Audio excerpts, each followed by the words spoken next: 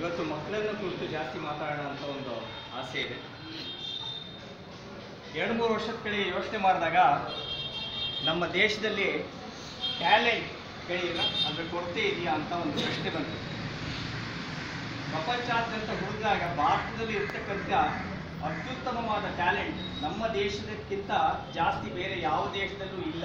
ಆದರೆ ಅವಕ್ಕೆ ನಿಜವಾದ ಒಂದು ಮಾರ್ಗದಲ್ಲಿ ಒಂದು ಸನ್ಮಾರ್ಗ ತೋರಿಸ್ತಾ ಹೋದಾಗ ಆ ಮಕ್ಕಳು ದೇಶ ವಿದೇಶಗಳಲ್ಲಿ ಮುಟ್ಟಬೇಕಾಗಿರ್ತಕ್ಕಂಥ ಒಂದು ಬುದ್ಧಿಶಕ್ತಿ ಅವಕ್ಕೆ ಬರ್ತಕ್ಕೆ ಬರ್ತದೆ ಎಂಬುದಕ್ಕಂಥ ಒಂದು ನಂಬಿಕೆಯಿಂದ ಈ ಜ್ಞಾನ ಯಜ್ಞ ಎಂಬ ಕಾರ್ಯಕ್ರಮವನ್ನು ಮುಖ್ಯವಾಗಿ ಹಳ್ಳಿ ಮಕ್ಕಳು ಮತ್ತೆ ಎಲ್ಲಿ ಸೌಲಭ್ಯಗಳಿಂದ ವಂಚಿತರಾಗಿರೋ ಅಂಥ ಕಾರ್ಯಕ್ರಮಗಳು ಮತ್ತೆ ಈ ಥರ ನಮಗೆ ಘೋಷಣೆ ಮಾಡ್ತಕ್ಕಂಥ ಒಳ್ಳೆಯ ಶಾಲೆಗಳಿಗೆ ಬಂದು ನಾವು ಜ್ಞಾನ ಯಜ್ಞ ಕಾರ್ಯಕ್ರಮವನ್ನು ಮಾಡಲಿಕ್ಕೆ ಪ್ರಾರಂಭ ಮಾಡ್ತೀವಿ. ಒಂದು ಚಿಕ್ಕ ಉದಾಹರಣೆ ಕೊಡ್ತೀನಿ. ಬೀದರ್ ಜಿಲ್ಲೆಯಲ್ಲಿ ಎರಡು ಸಾವಿರದ ಹದಿನಾರರಲ್ಲಿ ನಾವು ಜ್ಞಾನಯಜ್ಞ ಕಾರ್ಯಕ್ರಮ ಮಾಡಿದಾಗ ಹತ್ತನೇ ತರಗತಿ ಮಕ್ಕಳಿಗೆ ಮಾಡಿ ಅಂತ ಒಂದು ಸರ್ಕಾರವೇ ಮುಂದೆ ಬಂದು ಹೇಳ್ತೀವಿ ಯಾಕೆಂದರೆ ಹತ್ತನೇ ತರಗತಿ ಫಲಿತಾಂಶ ಬಹಳ ಕುಗ್ಗಿತ್ತು ನಾವು ಆ ವರ್ಷ ಒಂದು ಐವತ್ತು ಮಕ್ಕಳನ್ನ ತಗೊಂಡು ಈ ಜ್ಞಾನಯಜ್ಞ ಕಾರ್ಯಕ್ರಮದಲ್ಲಿ ಪಠ್ಯಪುಸ್ತಕ ಮತ್ತು ಮೌಲ್ಯ ಟೆಕ್ಸ್ಟ್ ಬುಕ್ಕು ಮತ್ತು ವ್ಯಾಲ್ಯೂ ಬೇಸಿಸ್ ಎರಡನ್ನು ಸಮ್ಮಿಶ್ರಣ ಮಾಡಿ ಆ ಮಕ್ಕಳಿಗೆ ಒಂದು ಆಧುನಿಕ ತತ್ವ ಮತ್ತು ಮನೋವಿಕಾಸ ಎರಡೂ ಆಗಬೇಕು. ಈ ರೀತಿಯಾಗಿ ಹೇಳ್ಕೊಟ್ಟಾಗ ಆ ವರ್ಷದ ಫಲಿತಾಂಶ ನಾವು ಹೋದ ವರ್ಷ ನೋಡಿದಾಗ ನಮ್ಗೆ ಬಹಳ ಸಂತೋಷ ಆಯಿತು. ಎಲ್ಲ ಮಕ್ಕಳು ಫಸ್ಟ್ ಕ್ಲಾಸ್ನ ಪಾಸ್ ಆದರು. ಮೊದಲನೇದಾಗಿ ಅದು ಬಹಳ ಒಂದು ಶ್ಲಾಘನೀಯವಾದ ವಿಷಯ ಆಯಿತು ಅಂದರೆ ಬಹಳ ಸಂತೋಷ ಆಯಿತು.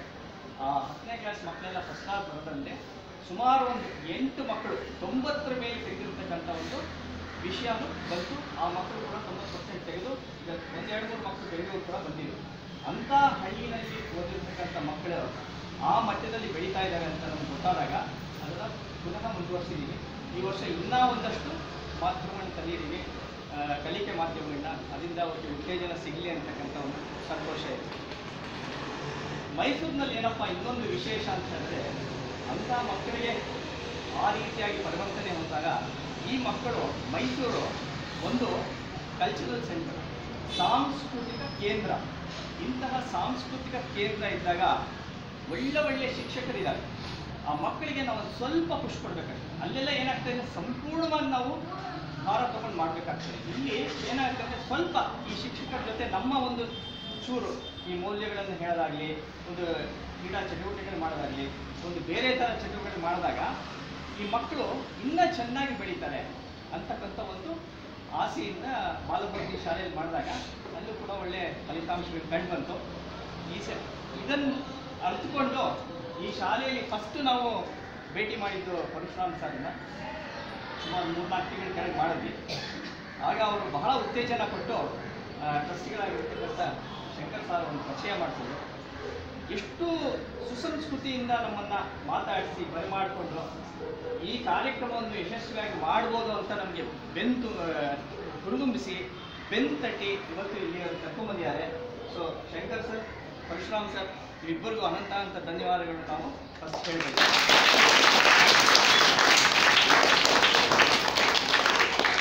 ಇಷ್ಟಿದ್ರೆ ಜೊತೆಗೆ ಇದಕ್ಕೊಂದು ಶಕ್ತಿ ಕೊಡಬೇಕಲ್ಲ. ಇದು ಶಕ್ತಿ ಕೊಡೋಕ್ಕೆ ನಮ್ಮಲ್ಲಿ ಪ್ರಖ್ಯಾತ ಹಾಸ್ಯ ಕಲಾವಿದರಾಗಿರ್ತಕ್ಕಂತಹ ಮೈಸೂರು ಆನಂದು ಮತ್ತು ದಂಪತಿಗಳು. ಇಬ್ಬರನ್ನೂ ನಾನು ನೆನೆಸ್ಕೋಬೇಕು. ಮೈಸೂರಿಗೆ ಕಾಲಿಟ್ಟ ದಿವಸದಿಂದ ಇವತ್ತಿನವರೆಗೂ ಕೂಡ ನಮ್ಮಲ್ಲಿ ಹೆಜ್ಜೆ ಹೆಜ್ಜೆಯಾಗಿ ನಾವು ಕೂಡ ಅಲ್ಲಿ ಇಲ್ಲಿ ಹೆಜ್ಜೆ ಹಾಕೊಂಡು ಸರಿ ತಪ್ಪು ನಡೆಸ್ಕೊಂಡು ಹೋಗ್ತಾ ಇದ್ವಿ. ನಮಗೆ ಒಂದು ಹೆಜ್ಜೆ ಆಗ್ತಕ್ಕಂಥ ಮಾರ್ಗ ಕೊಟ್ಟು ಹಾಸ್ಯ ಮಾರ್ಗದಲ್ಲಿ ನಮ್ಮನ್ನು ಕರ್ಕೊಂಡ್ಬಂದು ಇವತ್ತು ನೀವು ಮಾಡ್ಬೋದ್ರೆ ಈ ಮಟ್ಟದಲ್ಲಿ ಅಂತ ಹೇಳಿರ್ತಕ್ಕಂಥ ಮೈಸೂರಿನ ದಂಪತಿಗಳು ಕೂಡ ನಾನು ಕಾಬಾಳೆ ಮೂಲಕ ಅಂತ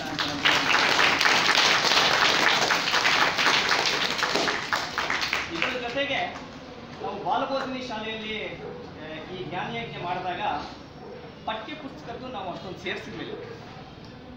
ಆದರೆ ನಮ್ಗೆ ಈ ಸತಿ ಏನಪ್ಪ ಅಂದ್ರೆ ಅದು ಕೂಡ ಒದಗಿಕೊಂಡಿದೆ ನಮ್ಮ ಮಂಜುನಾಥ್ ಸರ್ ಸ್ವಯಂ ಸೇವೆ ಎಂಬ ಒಂದು ಮಾಧ್ಯಮದ ಮೂಲಕ ಬಹಳ ನುರಿತ ಗಣಿತ ತಜ್ಞರು ಬಹಳ ಚೆನ್ನಾಗಿ ಸಮಾಜದಲ್ಲಿ ಗಣಿತ ಕಲಿಸ್ತಕ್ಕಂಥ ಒಂದು ವೈಶಿಷ್ಟ್ಯ ಅವರಲ್ಲಿದೆ.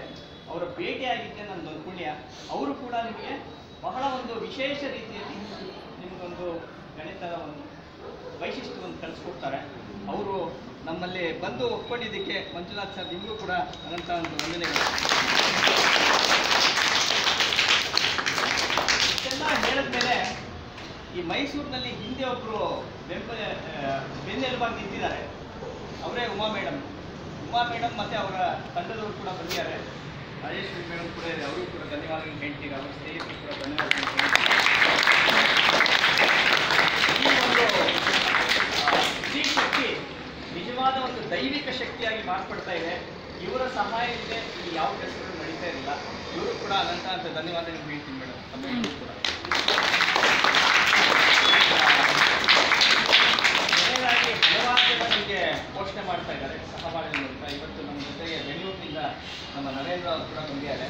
ಸೊ ಅವ್ರಿಗೂ ಕೂಡ ನಾನು ಧನ್ಯವಾದಗಳನ್ನು ಹೇಳ್ತೀನಿ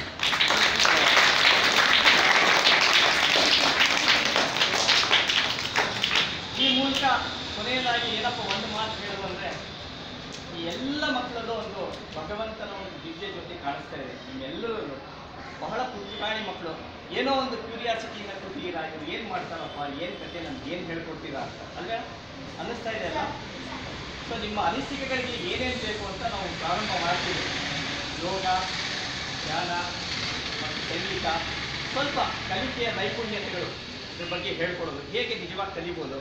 ಅದ್ರ ಜೊತೆಗೆ ಸ್ವಲ್ಪ ಇಂಗ್ಲೀಷು ಸ್ವಲ್ಪ ಗಣಿತ, ಕನ್ನಡ ಇವೆಲ್ಲ ಒಂದು ವೈಶಿಷ್ಟ್ಯ ರೀತಿಯಲ್ಲಿ ನಮ್ಮ ನುರಿತ ಶಿಕ್ಷಕರ ಜೊತೆ ಸೇರಿಕೊಂಡು, ಈ ಶಾಲೆಯ ನುರಿತ ಶಿಕ್ಷಕರ ಜೊತೆ ಸೇರಿಕೊಂಡು ಸಹಾಯಕವಾಗಿ ನಿಮಗೆ ನಾವು ಆದಷ್ಟು ಕೂಡ ಮಾರ್ಪಾಡು ಮಾಡೋಕ್ಕೆ ಪ್ರಯತ್ನ ಮಾಡ್ತೀವಿ.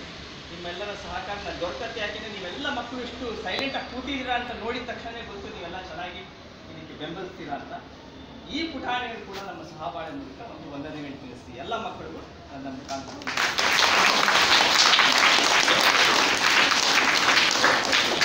ಎಲ್ಲರಿಗೂ ಒಳ್ಳೆಯದಾಗಿ ಭಗವಂತ ಎಲ್ಲರಿಗೂ ಶಕ್ತಿ ಕೊಡಲಿ. ಈ ಕಾರ್ಯಕ್ರಮವು ಅನೇಕ ಕಡೆ ನಡೀಲಿ.